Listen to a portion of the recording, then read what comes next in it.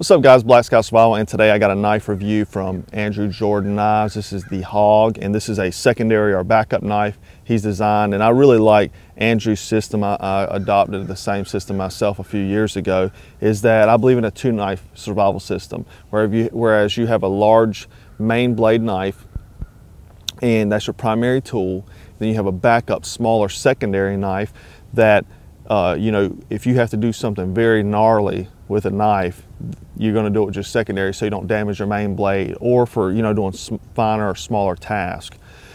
But this knife is the Hog.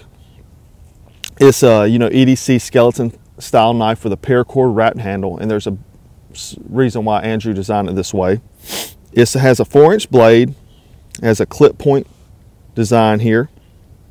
It's made of D2 steel and it is got a nice finish on it there has some jimping on the back.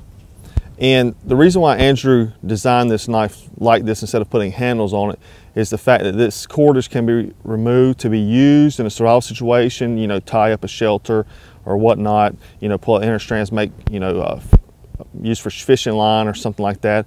But you could also lash this to a spear and what you would do is you'd split the, you know, uh, staff down the middle and then place the knife in there and then wrap the paracord around and lash it to the pole there. Now, a lot of people say, you know, you don't use your survival knife as a spear, and I totally agree with that. As your prime, not to use your primary knife, but a secondary knife like this, I have no, you know, reason why I wouldn't do that because if I do damage or lose this, who really cares because I have my primary knife.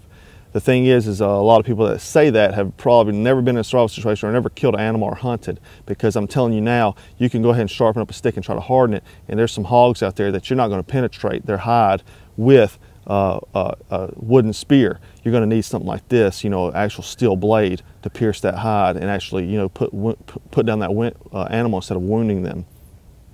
So that's my philosophy on that. I'm not against using a knife as a spear, but not my primary knife, something like this secondary knife. That's the reason why Andrew Jordan designed it like that. D2 steel, great steel, has a lanyard on the back, you know, but something small like this, what I like about it, if you see there, the cordage portion of the knife is closer to my back hand, whereas the choil is at my front. So it really fits in my hand. Even though, you know, it's a thin profiled skeleton knife, it fits in my hand great.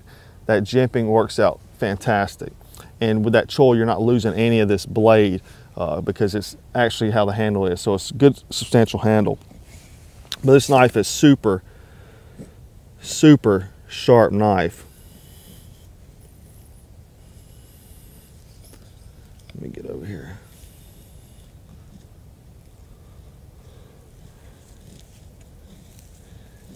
Just, just, you know, goes through this wood very well.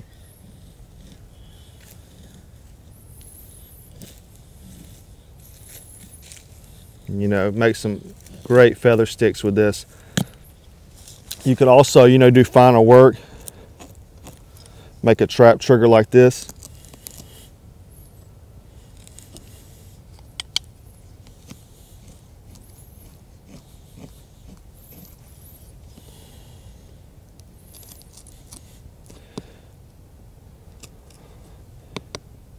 See very, very quickly, just made a notch for a trap trigger. Right there. So, I mean, you know, great knife, man. Uh, really digs in that wood and, and no discomfort. You would think from a knife like this, you know, a skeleton knife like this, that you would really have some pain, but that cord is just wrapped in the perfect area. Really just digs in that wood, you know. And for doing, you know, small stuff like this, it's perfect knife, you know, even if you have to you know, that way you can just crank out, make a spindle to a bow drill real quick. So good, good knife. You could also use it, you know, for, I heard uh, some guys that had some Andrew Jordan's knives, they were, uh, I forget, somewhere over in Europe, but they uh, had ran out of their tent stake, so they used the uh, hog as a tent stake. So very, you know, multifunctional knife.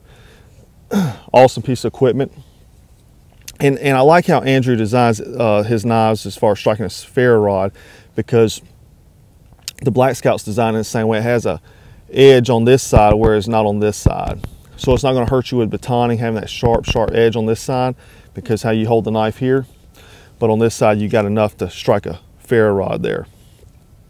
Now moving on to the sheath.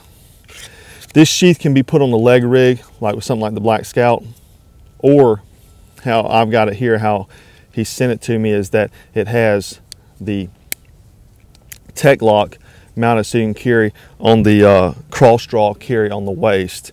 And I really like it like that because it can't be seen. You can wear it every day like everyday carry knife or throw it in your pocket if you want to. But uh, check out this knife at Andrew Jordan Knives as well as his other knives. They're truly pieces of artwork and uh, very functional tools at the same time. But check them out. Check out blackscoutsurvival.com for more tips and tutorials. And if you haven't subscribed, please subscribe. And as always, thanks for watching.